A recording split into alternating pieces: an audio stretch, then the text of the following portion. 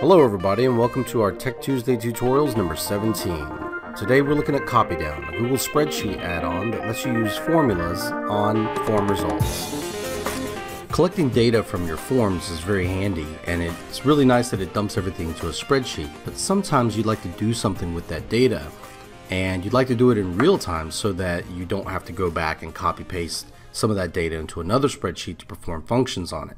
An example of this would be, let's say that you are doing a form, and I'll show you the form that I'm using here, where you may be evaluating somebody, uh, or perhaps you're cataloging how many items you've purchased or something like that, or perhaps you're looking at approvals. We're going to take a look at each of these three and how it works. So let's say you want to evaluate someone on these four criteria. I can go in here and put in uh, an extra column whenever I fill out the form, the data will get dumped in here and it'll ignore this column. So let's say I wanted to do an average uh, rating. Well, I can put in a formula like normal. This is this seems pretty easily, right? So I can just do average of these cells. Great. So this gives me an average rating of 325. Well, what happens if I fill this out? Right? What happens if I go in here and I, I do another one and I say, okay, this person was pretty good, click these in, right?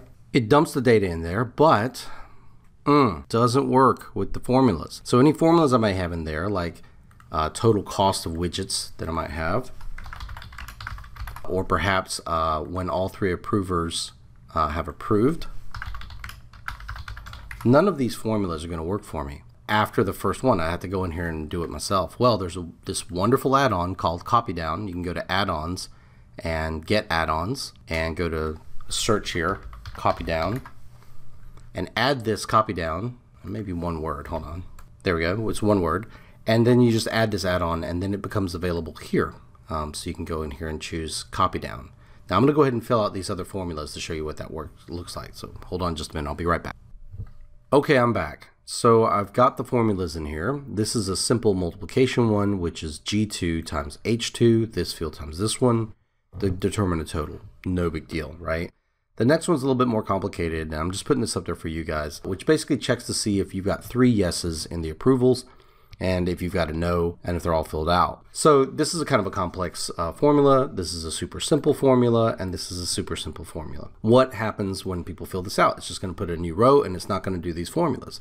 Now we get to use add-ons here and this one is called CopyDown. So we go and choose copy down and go to copy down settings and all we have to do here is just turn it on. And it's going to ask us what row is your formula in and which formulas on that row are the ones you want to use.